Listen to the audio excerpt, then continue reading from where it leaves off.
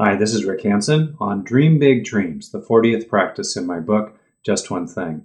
You know, it's funny reflecting here. Um, for every one person I know that's just way too caught up in some kind of grandiose fantasy, um, pursuing it and driving others crazy in the process, probably, uh, I must know 10 or 30 people who really have a realistic dream that's deeply important to them that they're just not doing anything about day to day, year after year. So instead, I think it's really important to let that dream take wings, take flight, you know, open the cage so it can soar for you.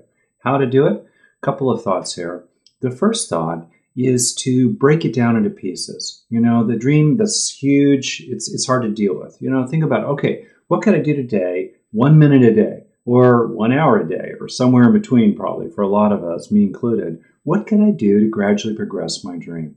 And then, second, set yourself up to actually start taking those actions. Make a commitment, carve out time in your day, go to bed 15 minutes earlier so you can get up 15 minutes earlier to start spending that extra 15 minutes per day, let's say, on that particular thing. In some way, progress toward the dream. And what I've seen again and again, it develops a kind of snowballing effect. You get energized moving forward, builds energy, which makes it easier to move forward. All kinds of positive cycles begin.